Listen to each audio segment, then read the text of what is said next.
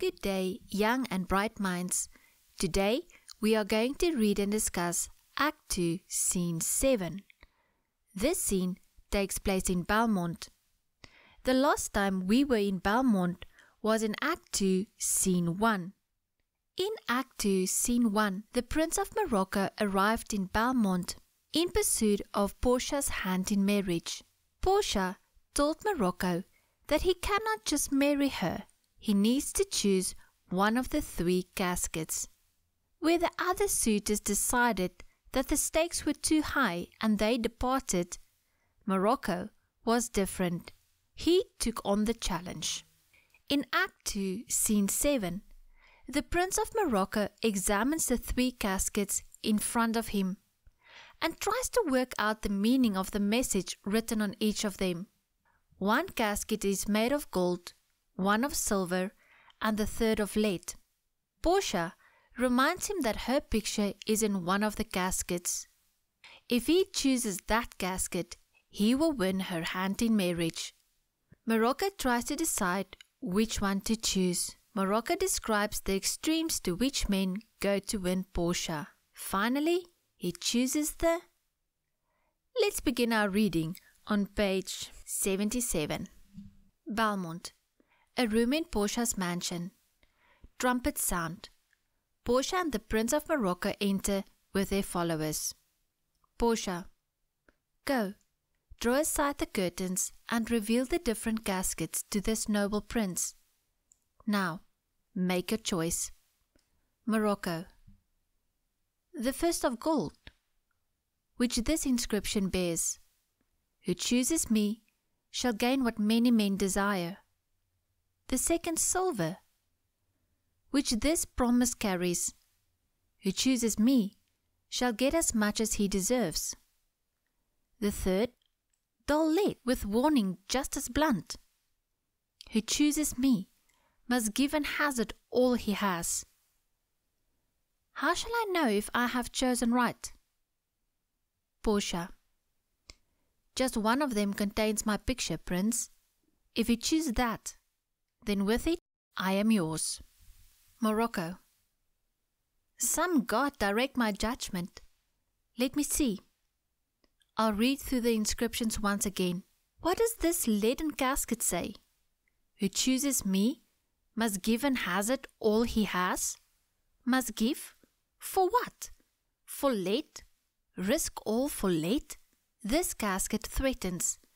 Men risking all do so in hope of winning handsome profits. A golden mind won't stoop to worthless shows. So I won't give or risk a thing for late. What says the silver with its pure white color? Who chooses me shall get as much as he deserves, as much as he deserves. Pause there, Morocco, and weigh your true worth with a balanced mind. If I were judged by my own relation, I would deserve enough, but that enough might still not be enough to win this lady. And yet to be afraid I don't deserve her would show a weak opinion of myself. As much as I deserve? Why, that's the lady. In birth I do deserve her, and in fortune, in noble education and refinement. But more than these, in love I do deserve her. What if I wandered no further but stayed here? Let's see once more this saying engraved in gold. Who chooses me shall gain what many men desire. Why, that's the lady. All the world desires her. From the four corners of the earth they come to kiss the shrine this mortal breathing saint. The Asian desert and vast wilds of white Arabian are like highways now for princes to come and view the lovely Portia. The ocean kingdom, whose ambitious waves spit in the face of heaven, is no deterrent to the foreign gallants, but they come, as though across a stream to see fair Portia. One of these three contains her heavenly picture. Is it likely lead contain her? It would be damnation just to think so base a thought. Even if she were dead, it would be gross to enclose her in such undistinguished metal. Or shall I think that she's encased in silver, only a tenth as valuable as gold? Oh, sinful thought! So rich a gem was never set in anything less than gold. They have in England a gold coin with an angel stamped upon it, but here an angel on a golden bed lies within. So let me have the key. Here do I choose, and here may I succeed. Portia. There, take it, prince, and if my picture's there, then I am yours. He takes the key and unlocks the golden casket. Morocco. Oh, hell, what is this here? A human skull with a written scroll stuck in its empty eye? I'll read what it says. All that glitters is not gold. Often have you heard that told. Many a man his life has sold, just my outside to behold. Gilded tombs do worms enfold. If you'd be seen as wise as bold, in limbs young but in judgment old, this answer had not been inscrolled. Fare you well. Your suit is gold, gold indeed, and labor lost. Then farewell heat and welcome frost. Portia, farewell. I have too grieved a heart to take a lengthy leave. Thus loses part. He goes with attendants. Portia, a gentle riddance. Draw the curtains. Go. May all of his complexion choose me so. They go out. Morocco chooses the gold casket. All he finds inside is a skull and a message that warns against judging things by appearance.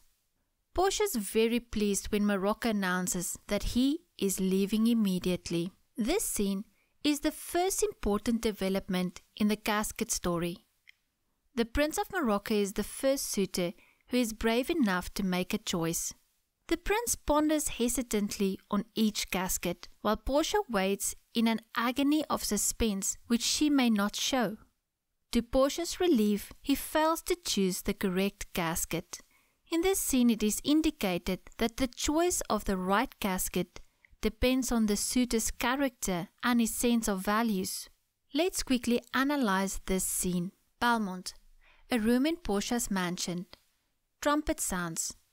Portia and the Prince of Morocco enters with their followers. The setting is Belmont, a room in Portia's house, and the time is evening. There is trumpet sound to announce the entry of the Prince of Morocco and Portia. Remember, the entrance of important people is always announced by trumpet sound. Go. Draw aside the curtains and reveal the different caskets to this noble prince. Now make your choice. Draw the curtains means to open or to pull to a side. This indicates to us that the three caskets were behind a curtain. Morocco. The first of gold which this inscription bears, Who chooses me shall gain what many men desire the second silver, which this promise carries.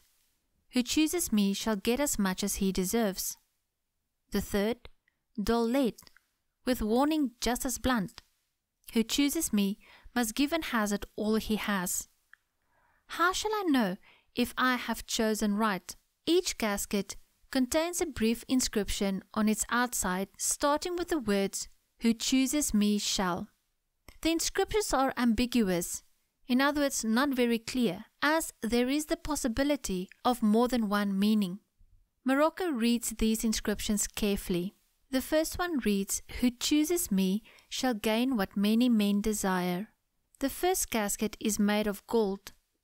Who chooses me shall gain means get what many men want. The second casket is of silver, and it says, Who chooses me shall get as much as he deserves. Morocco refers to the third casket as made of dull lead. He uses the word dull because lead is without shine or color. He says the inscription on the casket is as dull and uninspiring as the metal it's made of. The word hazard just means risk, in danger, or venture. Portia, just one of them contains my picture, Prince. If you choose that, then with it I am yours. The Prince of Morocco will know which casket is the correct casket if he opens the casket and he finds a picture of Portia inside of the casket. Only one of the caskets will contain a portrait of Portia. Morocco. He begins by asking some god to direct his judgment. He wants a god, any god, to guide his decision or to help him to choose. He will read through all the inscriptions again before he makes a choice. He stops for a while at each casket. He reads the inscription for the casket made of lead again. Who chooses me must give and hazard all he has. Must give for what? For lead? Risk all for lead? In his eyes, lead is a base metal which doesn't have much worth. Therefore, risking everything for a metal that's not worth anything doesn't make any sense to him. He continues to say this casket threatens. Men risking all do so in hope of winning handsome profits. Whenever a person takes a huge risk, they don't risk things for something as worthless as lead, but rather for handsome profits, meaning for excellent rewards or for making good profits. A golden mind won't stoop to worthless shows. He's saying a clever person won't stoop so low. Here it is already hinted that he will choose the golden casket. Morocco says an excellent mind doesn't lower itself to consider something worthless, and the worthless shows refers to impure matter, waste material that comes to the surface of metal when it is melted. So I won't give or risk a thing for lead. Morocco feels the lead casket can't possibly contain anything of value. He moves on to the silver casket. What says the silver with its pure white color? For him, the silver casket has a pure color, a perfect shine. Who chooses me shall get as much as he deserves? As much as he deserves? Pause here, Morocco. He cautions himself. He says, Think honestly and carefully about what you deserve and weigh your true worth with a balanced mind. If I were judged by my own relation, he's saying that if he was to judge according to his own opinion of himself, then he would definitely be deserving enough. But then he thinks about it for a while. He says, I would deserve enough, but that enough might still not be enough to win this lady, and yet to be afraid I don't deserve her would show a weak opinion of myself. Morocco says that he thinks he is enough and deserving of such a beautiful lady but is wondering if it will be enough. But then he says, If I question what I deserve, it shows a lack in confidence in my own worth. If you do not think that you are worthy enough, then are you actually worthy enough? Morocco thinks about the inscription and he figures that he is most deserving, and therefore he says, Why, that's the lady. In birth I do deserve her, and in fortune in noble education and refinement, but more than these, in love, I do deserve her. Morocco says, we're of equal social status by birth. Morocco is a prince born into a royal family, and therefore he is deserving of Portia. But then he also says, in noble education and refinement, but more than these, in love I do deserve her. He concludes that he fully deserves Portia he is of royal descent, a prince. They have the same social status. He is wealthy in fortune.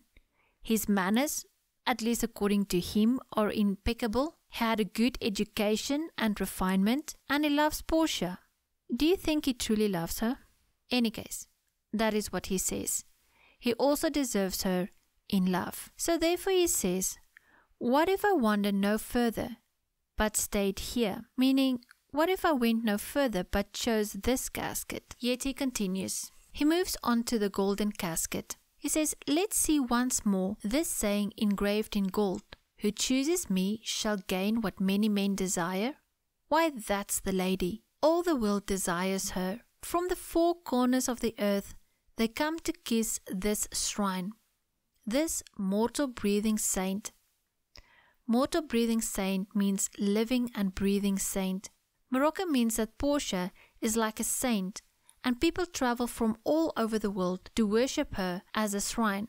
And then he refers to the Asian desert and vast wilds of wide Arabia. Vast just means enormous, and in Shakespeare's time, this region on the southern side of the Caspian Sea was famous for its wildness and the fierce tigers that lived there. He's saying that they are like highways now.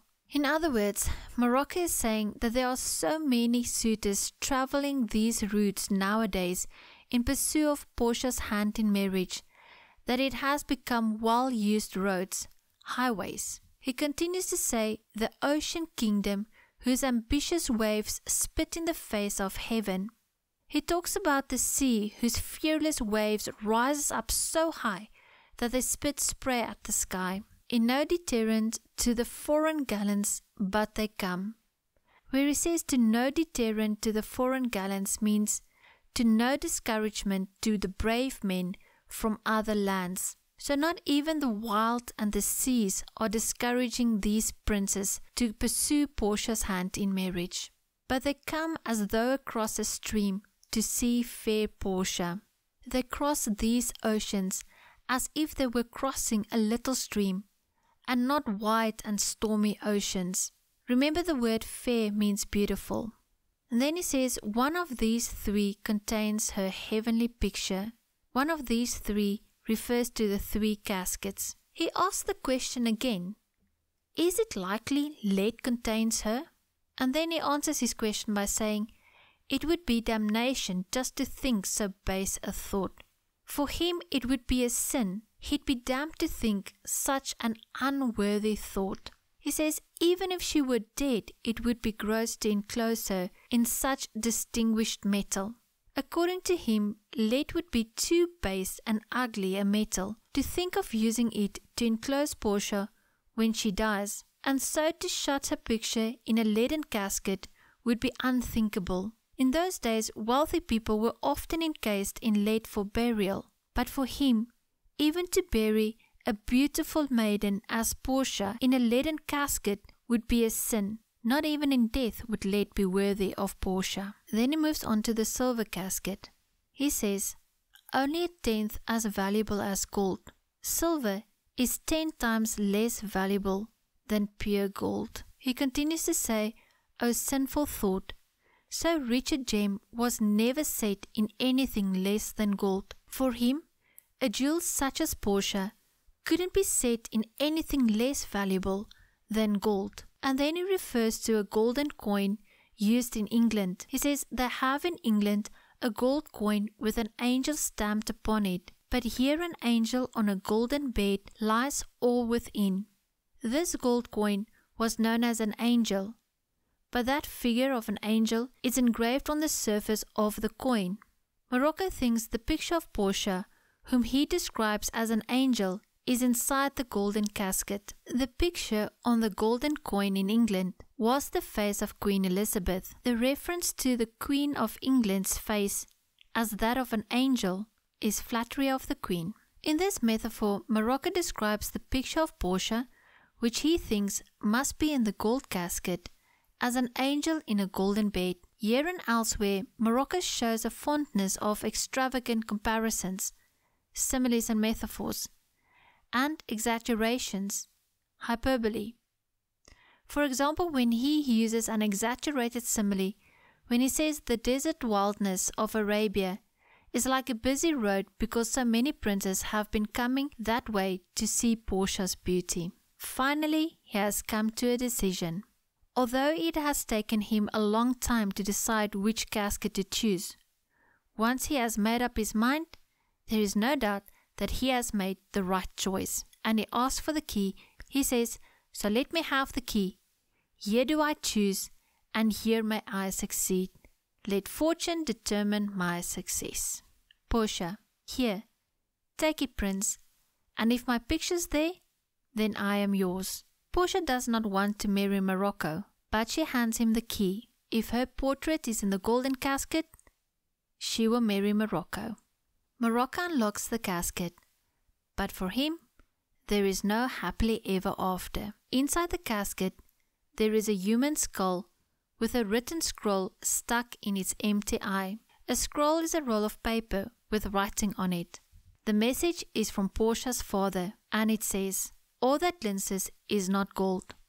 In other words, all that shines and sparkles and glitters is not gold. The message of the scroll repeats the theme of appearance and reality.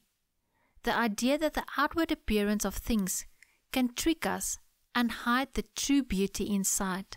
The rest of the scroll reads Often have you heard that told, often have you heard this saying or proverb, all that glitters is not gold. Many a man his life has sold just my outside to behold. Morocco was tempted by the thought of gold, and based on that, he made his choice. Gilded tombs do worms enfold. In other words, even tombs or graves that's covered with gold have worms inside them, so the outside may be beautiful, but on the inside there is still a rotten corpse. If you'd been as wise as bold, if only you were as wise as you were brave, in limbs young, but in judgment old, physically young, but wise and experienced in making decisions, this answer had not been inscrolled. This would not have been what is written on this scroll. In other words, if you were wise in your judgment, you would have chosen the right casket, and on the scroll would have been good news. Ironically, Morocco does what he asked Portia not to do. In Act 2, Scene 1, Morocco asked Portia not to judge on outer appearance, but he based his decision on the outer appearance of the golden casket. Fare you well, your suit is gold, your hopes of marrying Portia are dead. Gold indeed, and labour lost. My hopes of marrying Portia are indeed dead, and all my work has been for nothing. Morocco coolly accepts the fact that he has lost. The sorrow he expresses more because he has gone to so much trouble for nothing than for losing Portia's love. He says, Then farewell, heart, and welcome, frost. Frost is the thin white cover of ice on the ground on very cold winter mornings. Morocco means that he can no longer hope for the warmth of a woman's companionship and love, and only has the cold of loneliness to look forward to. Morocco bids Portia farewell. He says, I have too grieved a heart to take a lengthy leave. My heart is full of sorrow and unhappiness, and therefore I cannot take a lengthy leave. I will not say a formal goodbye, or give a long and boring farewell. Thus losers part. This is the way that losers depart. He goes with attendants. Portia, a gentle riddance. Draw the curtains, go. May all of his complexions choose me so. A gentle riddance, a happy deliverance. I'm relieved he's gone. Draw the curtains, close the curtains again. May all of his complexion choose me so. Complexion doesn't just refer to the color of Morocco's skin here. It can also mean personality, nature, and temperament. Therefore, she's saying, May all the men with similar personalities, nature, and temperament be unsuccessful in their attempts to win her as a wife. They go. Before we go, let's quickly recap the caskets. Before his death, Portia's late father had three caskets made one of gold, one of silver, and one of lead. According to his will, any suitor who wants to marry Portia has to choose one of the caskets and open it. Inside each casket is a document giving the answer to his proposal. Each suitor can make only one choice, and Portia has to marry the first one to choose a correct casket. Before choosing, each suitor has to take an oath in which he swears 1. Never to reveal the content of the caskets he has chosen to anyone. 2. Never again seek the hand of any girl in marriage. And 3. To leave Belmont immediately if he makes the wrong choice. There are important themes built around this story external beauty versus moral or spiritual beauty, and superficial beauty versus truth. The inscriptions on each casket are ambiguous, as there is the possibility of more than one meaning. The inscriptions on the golden and silver caskets seem to promise everything. The inscription on the lead casket promises nothing and contains a blunt warning. The inscription on the golden casket reads, Who chooses me shall gain what many men desire. The silver casket, Who chooses me shall get as much as he deserves. And the late casket, Who chooses me shall give and hazard all he has. Morocco feels that he cannot be expected to risk all one has for worthless lead, and so decides that the lead casket threatens. Upon looking at the silver casket, he decides to judge himself honestly and fairly. He feels that if everyone thinks as much of him as he thinks of himself, then he deserves a great deal. However, this may not be sufficient to win Portia's hand, but to doubt his worth is to believe himself unreasonably. He almost chooses this casket, but goes on to the golden casket again. He concludes that what many men desire must be Portia, because men come from all over the world to kiss her hand as if she were a saint. He also reasons that a rich jewel such as Portia must be set in gold but the Prince of Morocco is wrong. Inside the casket, he finds a skull, symbolizing the fact that one must not judge by outward appearance. In its eye socket, there is a scroll with a message. Everything that glitters is not gold. Many men have sold their lives merely for the sake of looking at gold. Outward appearance are deceptive, as even graves covered with gold contains worms, and although Morocco was bold and brave, his judgment was not wise. Therefore, he has to leave immediately. Morocco bravely admits his defeat and leaves Belmont immediately. Now we know that the golden casket is not the right casket, and so does Portia. Two caskets left, and Bassanio is finally on his way. But will he be in time before the next suitor shows up? Remember to study the rest of the notes on ebooks and complete the questions. Always do a mind map, no matter if the question asks you to do so or not. Make sure that you include all the important information in each of your mind maps. Till next time, hasta la vista, babies.